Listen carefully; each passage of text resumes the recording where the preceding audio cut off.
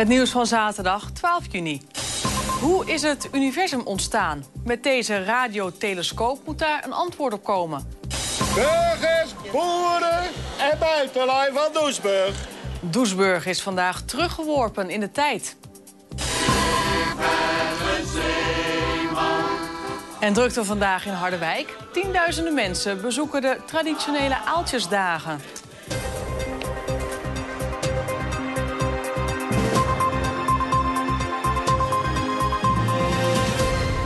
Goedenavond. Koningin Beatrix heeft vanmiddag LOFAR, de grootste radiotelescoop ter wereld, geopend. Dit gebeurde in het Drentse Buinen. De radiotelescoop draagt een groot gelder stempel.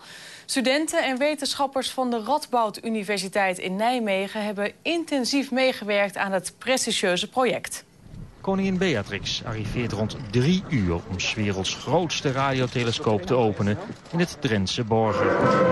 April 1956, de officiële ingebruikstelling. Zou u op deze knop willen drukken, majesteit? Net als haar moeder tientallen jaren geleden verricht zij de feestelijke handeling met een druk op de knop. Maar wie denkt in het Drentse landschap een grote schotelantenne te zien staan, komt bedrogen uit. De enorme telescoop bestaat uit 20.000 kleine antennes die signalen uit de ruimte kunnen opvangen. De wetenschappers denken zo dieper dan ooit in ons universum te kunnen kijken... en zo zelfs beter te kunnen begrijpen hoe ons heelal is ontstaan. Het totale project kost een kleine 130 miljoen euro.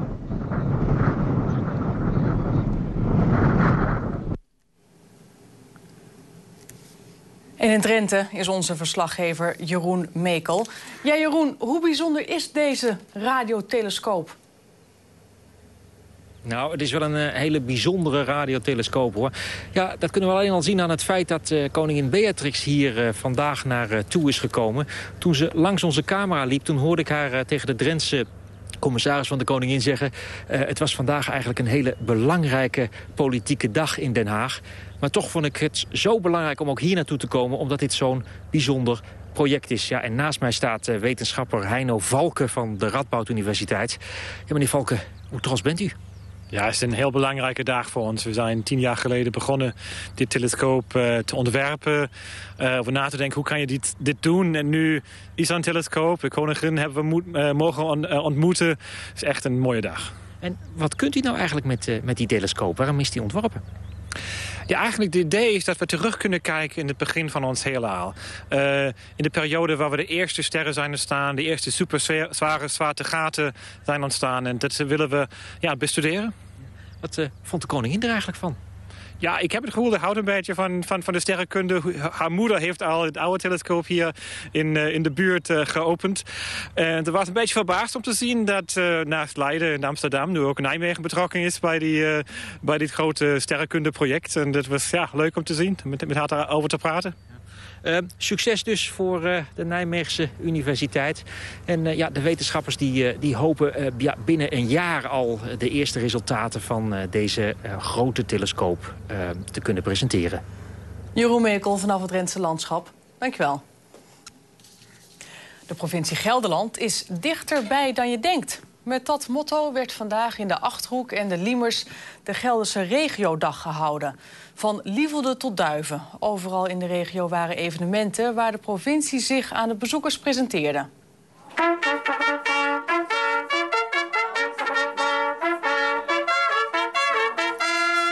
Zelfs gedeputeerde Annelies van der Kolk waant zich op de regiodag in Serenberg voor even in de middeleeuwen.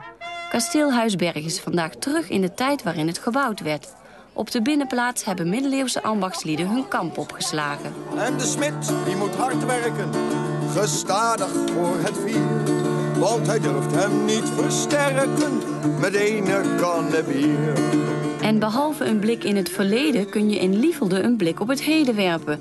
Annelies van der Kolk, weer terug in onze tijd zonder middeleeuws gewaad... opent de nieuwe uitkijktoren bij de Engelse Schans in Lievelde. Hiermee verklaar ik de toren voor geopend. Oh.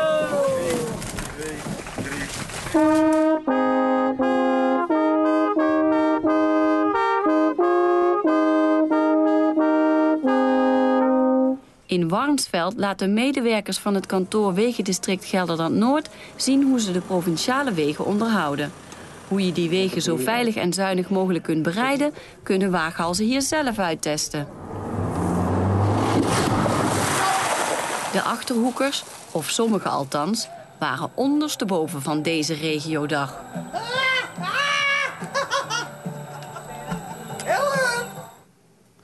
Een groot waterspektakel in de haven van Harderwijk. Demonstraties op de boulevard en live muziek in de winkelstraten.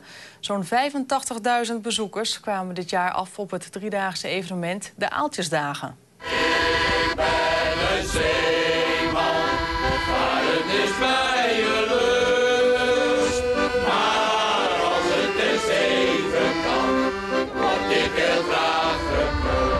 Wat is er nou zo leuk aan die Aaltjesdagen? Gewoon de visserij van vroeger komt weer een klein beetje het gevoel terug. Beschrijft u dat gevoel eens? Nou, ik eh, ben dus zelf uit de vissersfamilie. Mijn hele familie zit in de vis. En als ik dan allemaal zie dat er overal weer volop vis gegeten en verkocht wordt... een fijn gevoel gewoon. 40 jaren al op de paarden en nog geen water gezien. U was een beetje aan het meezingen, Ja, sommige woorden. Hij kent het niet helemaal, maar enkele woordjes wel. Wat is er nou zo speciaal in die aaltjesdagen? Gezelligheid en toevallig mooi weer erbij. En dat is belangrijk, hè? Al wat gerookte paling geproefd? Ja, echt wel.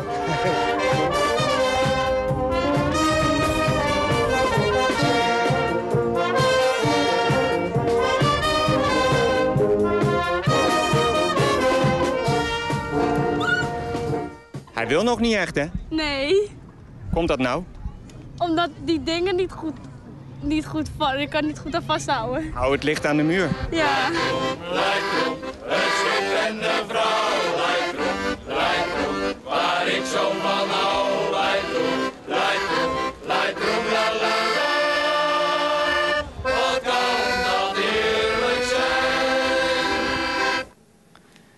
Tielse basisschoolleerlingen zingen en spelen of hun leven ervan afhangt. Zometeen meer. Het schip dat eergisteren zonk op de Rijn bij Tolkamer... wordt vanavond uit het water getakeld. Dat verwacht Rijkswaterstaat. De boot wordt door een kraan omhoog gehaald... zodat het water eruit kan worden gepompt. Volgens de brandweer sloeg het schip donderdag lek tegen de kade... na een verkeerde manoeuvre tijdens het afmeren. Bij de Praats in Arnhem is een gedenkteken onthuld voor drie Husenaren. Johan en Theo Straatman en Henk Leentjes verdronken in oktober 1944...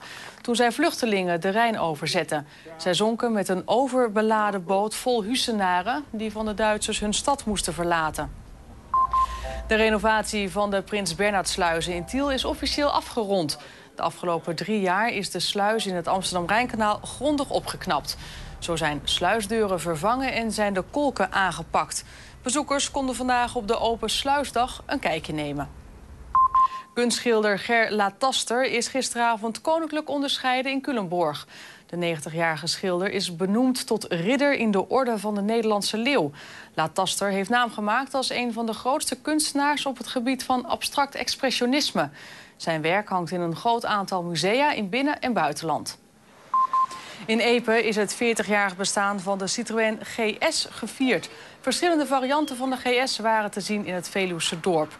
Van de familiewagen die in september 1970 gepresenteerd werd... zijn in Nederland ruim 110.000 exemplaren verkocht. Nieuws uit Gelderland. Zeven dagen in de week. Kritisch, objectief en betrokken. Het is inmiddels nog maar een kleine stad, maar in de middeleeuwen was Doesburg een belangrijke handelsstad. Vandaag herleven deze oude glorietijden tijdens de Doesburgse Hanzefeesten. Burgers, boeren en buitenlui van Doesburg. Hedemiddag om 1 uur is weer de modeshow der middeleeuwse kledij. Zegt het voort, zegt het voort. Nou, dat is even op zijn klassieks een, eh, een evenement aan prijzen. Ja, het is geweldig. De sfeer zit er wel zo gigantisch goed in. Uh, twee, meer dan 200 vrijwilligers hebben hieraan gewerkt om kleding te maken, om alle voorbereidingen te doen, om het theater voor te bereiden, vooral met veel kinderen.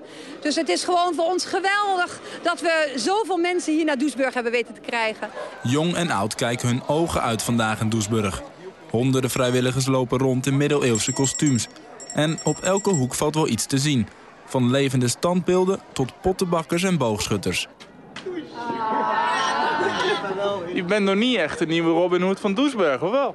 Nee, niet echt, nee. ik, uh, ik ben wel goed op weg, maar uh, ik moet nog even oefenen. Het hoogtepunt van de dag is de modeshow die wordt ingeleid door een heusriddergevecht. En dan blijkt dat de Doesburgse man nog steeds van nobele inborst is. Wat lijkt je nou zo mooi aan een ridder zijn? Uh, het vechten. En het beschermen. Beschermen van een mooie jonge dame? Ja, een mooie helm op. Een mooie helm op, je wil wel een echte ridder zijn.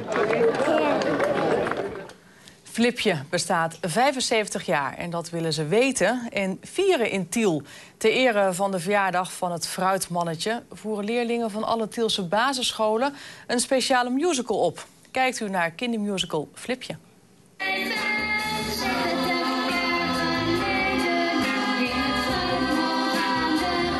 Ja, Flipje bestaat alweer 75 jaar en daar kunnen ze natuurlijk niet omheen in Tiel de thuisstad van het in Nederland wereldberoemde jammerk. Het hele jaar zijn er activiteiten om de mijlpaal te vieren. En ook de schooljeugd heeft zich dus ingezet.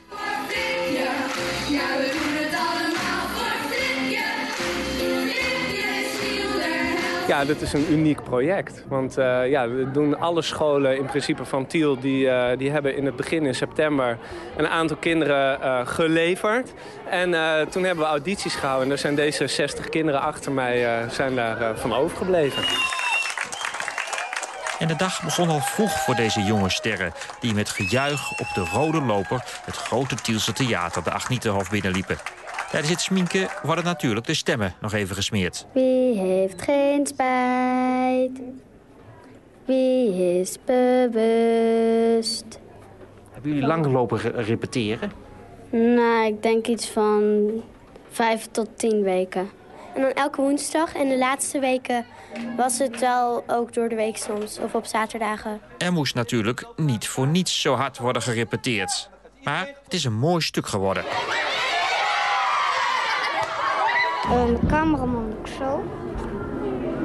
En met uh, banaan moet ik een beetje omgestaan met een pak. En met laborant moet ik in een lapjas gestaan. Je speelt nogal wat rollen, zeg. Ja, dat wel, ja. Natuurlijk gieren bij de jonge sterren de zenuwen door de keel... bij een uitverkochte zaal. Ja, maar dat is ook wel spannend en het is wel leuk en ja. Heb je er wel van kunnen slapen? Ja, dat wel.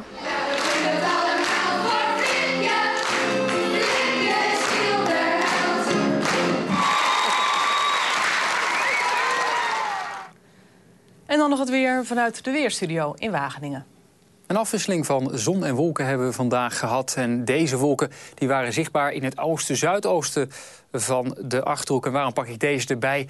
Deze wolken hoorden bij een storing met aan de andere kant ervan warme lucht, hete lucht, zelfs boven het midden en vooral oosten van Europa, met zomerse tot tropische temperaturen. Maar die warme lucht die gaat niet dichterbij komen, want deze pluk met bewolking die bij ons daarvan de overgang markeerde, die dus schampte over het zuidoosten, oosten van de provincie, die trekt weg die kant op en we blijven in de koele lucht waar we vandaag al in zaten voor ook morgen en de dagen daarna. Maar wel geregeld de zon. Morgen is nou net de dag dat het allemaal wat tegen zal vallen. Vanavond trouwens wel mooi, want op steeds meer plekken is het helemaal zonnig. Het is nog heel lang licht. Tot uh, na 11 uur denk ik wel op de meeste plekken. Zeker als je de lampen niet aan hebt, kan je het zien dat het gewoon nog licht blijft. En daarna vannacht heldere omstandigheden. Wel wat aan de frisse kant. En morgen vroeg ook een koele start, maar nog wel vriendelijk. Met ja, wat wolkenplukken die al vanuit het noorden binnenschuiven. Maar het worden er steeds meer. Ze zijn niet heel erg dik, maar wel genoeg om de zon lange tijd af te schermen. Zo af en toe valt er nog eens een gaatje in. En regen komt er niet uit, maar wel dus vanaf zeker later in de ochtend en in de middag... tijdlang echt grotendeels bewolkt. Begin van de dag en eind van de dag dan de meeste ruimte voor de zon. Juist Tweede helft ochtend en middag de meeste bewolking. Maar dus geen regen, weinig wind en al met al best wel redelijke temperaturen.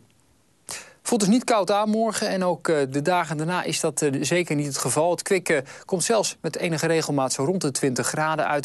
Het windje trekt wel weer ietsje aan naar matig, maar al met al fraaie omstandigheden bij tijd en wijlen. En bovendien is het droog de komende periode in Gelderland. Een oude hit gebruiken voor een reclame. Dat gebeurt wel vaker en dat kan een leuke zakcent opleveren. Zoals voor Thijs van Leer met zijn jaren 70 hit Hocus Pocus. Morgen meer in het nieuws. Nog fijne avond.